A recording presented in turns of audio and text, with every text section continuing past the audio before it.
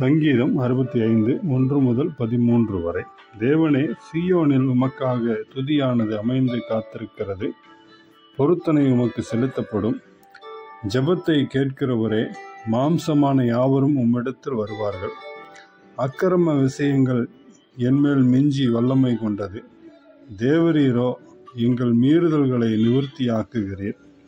உம்முடைய பிரகாரங்களில் வாசமாய் இருக்கும்படி நீர் தெரிந்து கொண்டு சேர்த்து கொள்ளுகிறவன் பாக்கியவான். உம்முடைய பரிசுத்த ஆலயமாகிய உமது வீட்டின் நன்மையால் திருப்தியாவோம். பூமியின் கடையாந்திரங்களிலும் தூரமான சமுத்திரங்களிலும் உள்ளவர்கள் எல்லாரும் நம்பும் நம்பிக்கையாக இருக்கிற எங்கள் ரட்சிப்பின் தேவனே நீர் பயங்கரமான காரியங்களை செய்கிறதினால் எங்களுக்கு நீதியுள்ள உத்தரவு அருளுகிறீர்.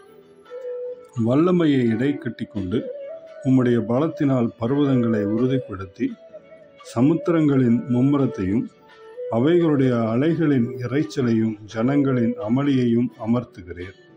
கடையாந்திர இடங்களில் குடியிருக்கிறவர்களும் உம்முடைய அடையாளங்கள் நிமித்தம் பயப்படுகிறார்கள். காலையும் மாலையும் கலிகுற பண்ணுகிறீர். தேவரீர் பூமியை விசாரித்து அதற்கு நீர் பாய்ச்சுகிறீர்.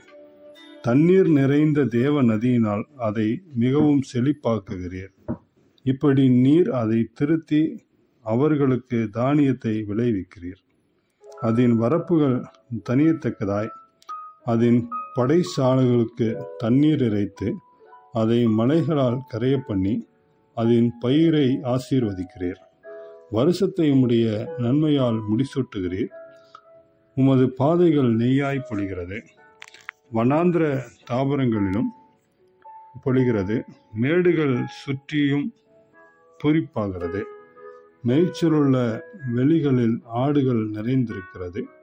பள்ளத்தாக்குகள் தானியத்தால் மூடியிருக்கிறது. அவைகள் கெம்பீரித்து பாடுகிறது என்றார் என்பதே ஆமேன்.